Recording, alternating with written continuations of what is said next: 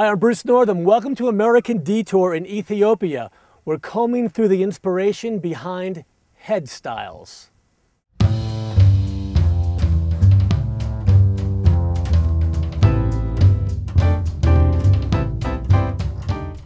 Ethiopia, the land of unintentional models, remains biblically exotic.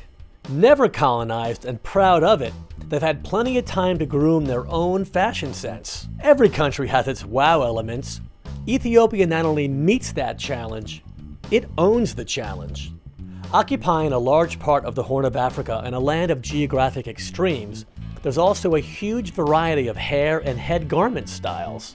Never forced to borrow style from anyone, natural beauty reigns. It's common to see women elegantly bedecked in traditional white homespun cotton gowns or other languid robish attire. Hairstyles, all right, let's start from childhood.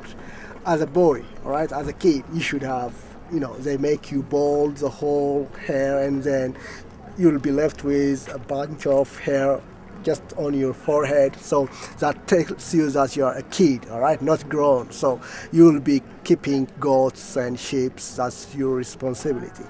Mothers think by just touching your bunch of hair here makes you taller.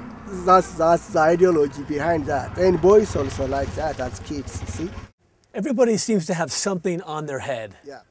Tell me about that it well they can use it as a cover from sun protection all right? They can use it like uh, protection from dust.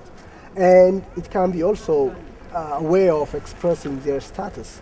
For instance in the church you've seen uh, men old men having a white wrap on their hair. That we call it tumtum. And it's to show that he's a priest you see? No no other man can do that except priests. So we can simply know who is the priest and who is the ordinary man. That, by, by the, the Tim Tam. By the Tim Tam, yeah.